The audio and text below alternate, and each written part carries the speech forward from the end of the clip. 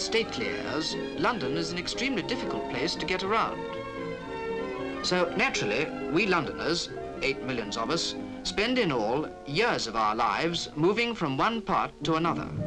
Each of us may say we live in London, at such and such a number of so-and-so street.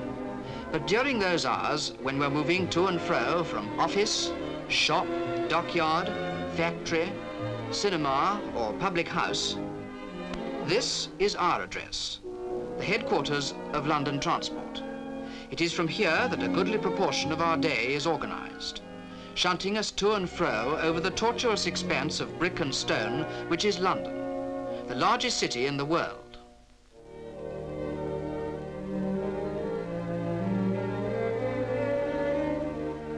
So we have come to take for granted the bus miles out in the country, the Green Line coach on its long journey into town, the familiar red bus, the tram, the trolleybus, and the train. But no matter how long we have to spend in one vehicle or another, somehow we are never really reconciled to it. We are so impatient to get there quickly, quickly. But always London's higgledy-piggledy shape was the obstacle. And one drastic solution was to bore a new way underneath the old town.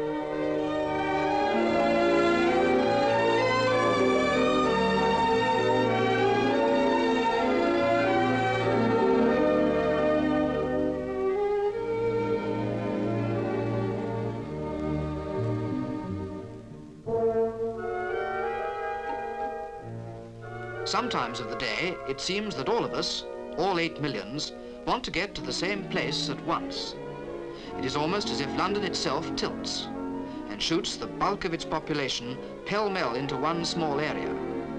And it is this which makes the work which goes on behind the windows of the London Transport Headquarters a most exacting job.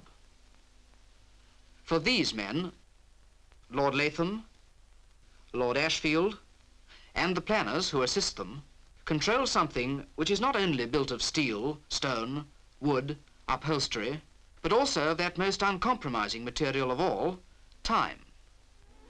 At the consumer end of the organization, the passengers wait in a queue, thinking only of one thing, time. How long shall we have to wait? How long will it take? When shall we get there? There is always new information gathered on the spot information which will help to get us impatient people into tune with the clock. The schedules are constantly being altered, new timetables being made out, keeping us on the move, on time.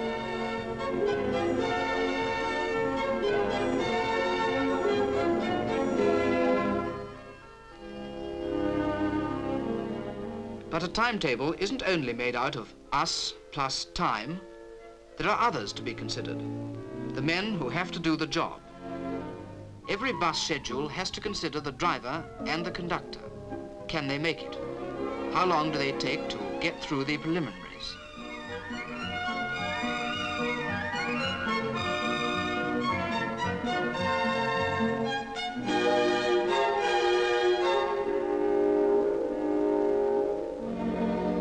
They're just like you and me.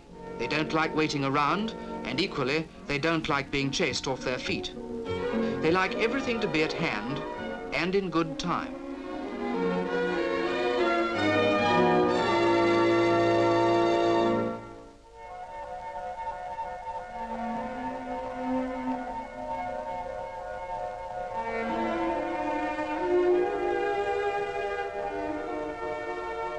The daily routine of washing, brushing and cleaning is essential to a neat timetable.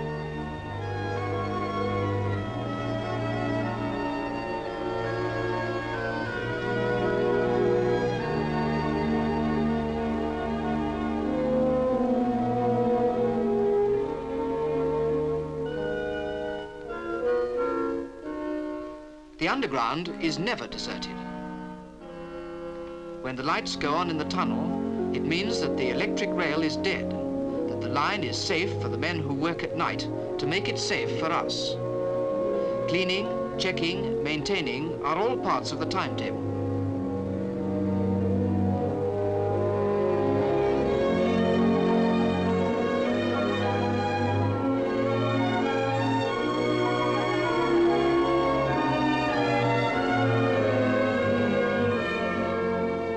Overhaul, checking on the innards of all vehicles, lubricates the running of the timetable, keeps it working smoothly according to schedule.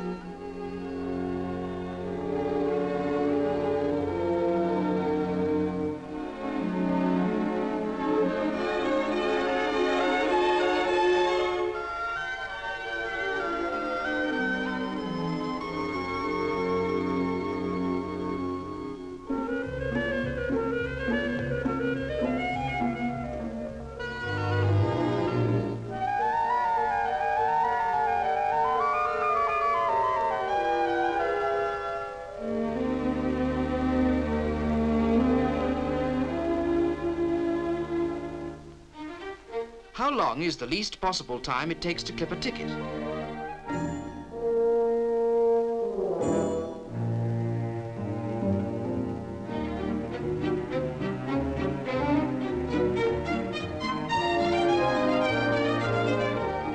The drivers, too, have a most thorough training course. Time spent in the school will mean time saved in the future and a safer service.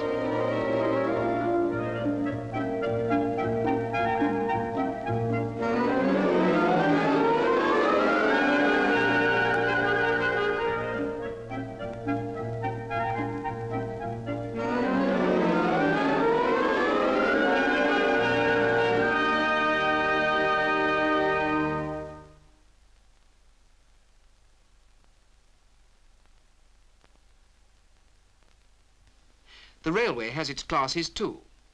The lid is taken off instruments, revealing the secrets of some ingenious devices. In this case, a safety mechanism by which the train is stopped automatically if it passes a signal set at danger.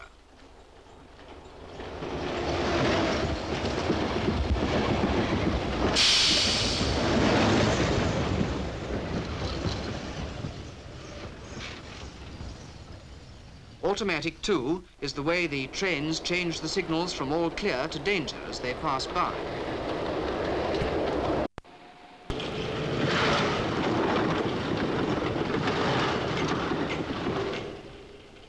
But not all the signals are worked by the trains themselves. At junctions, the hands of men set the points and regulate the indicators on the platform.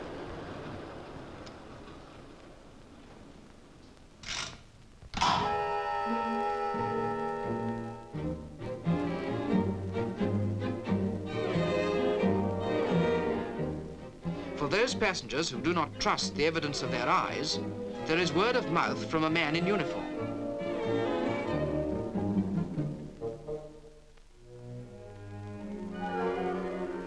So mishaps on a large scale become impossible. But little difficulties can always arise. When this train stopped unexpectedly in the tunnel, automatically the signal behind it switched to danger and another routine came into action. The mere act of linking the telephone cut off the current.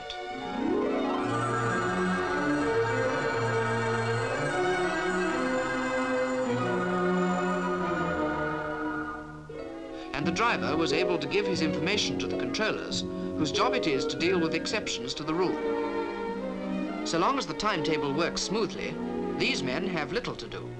When the exception arises, they snap into action. But a mishap is not the only sort of interference with the timetable. 30,000 people have decided to catch a bus at one time to one place. So the telephones buzz again, keeping contact with the racecourse.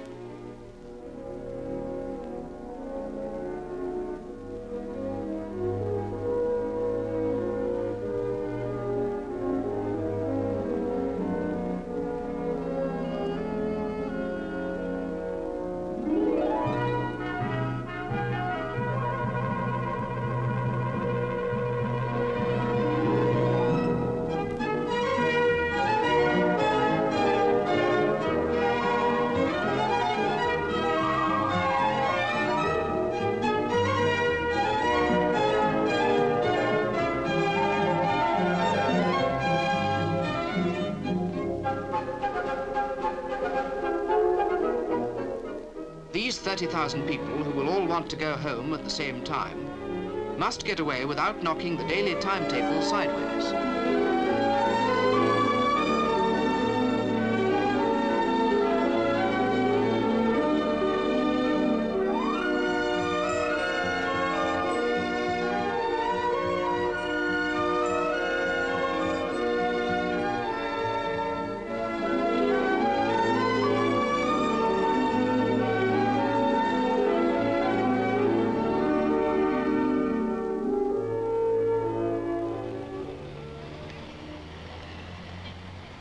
These complications and problems, so difficult of solution, were to one man, whose name was Frank Pick, a great opportunity. He knew that we are impatient to get where we want to go, so he insisted that stations should be designed to keep us on the move as efficiently as the train itself. The entrance, the ticket hall, the ticket machines should be so designed and placed that we are kept steadily and smoothly on the go.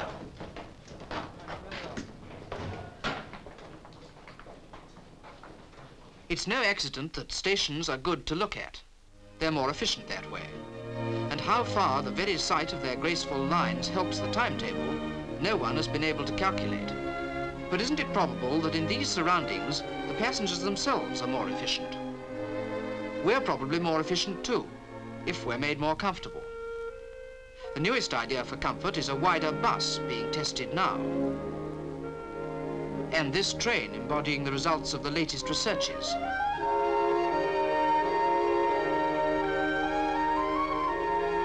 It is a constant succession of new devices and new problems. The new housing estate demands its bus service. But perhaps the newest problem of all is that we Londoners apparently travel one-fifth more nowadays than before the war making it more than ever difficult to cope with the 15,000 shop assistants, for instance, who stop work in Oxford Street between half past five and six every evening. A committee of London Transport and the local business houses decides that the solution is by staggering working hours.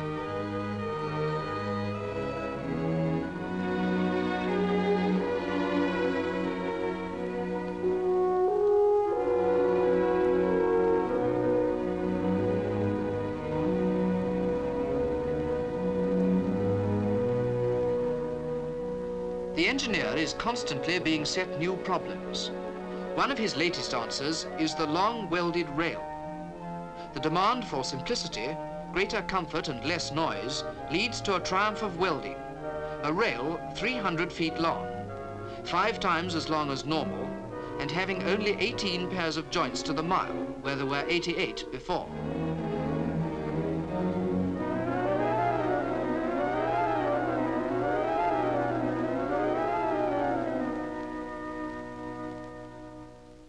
Latest conceptions of design, comfort and efficiency are being shaped into new stations and new extensions. In conclusion, perhaps a few broad figures will help to give an idea of the enormous job of transporting the Londoner there and back again. Here we go then. Area covered, 2,000 square miles. Vehicles in regular use, 11,000. Staff employed, 96,000. Miles covered in one year, 610 million. Passengers carried in one year, 4,300 million.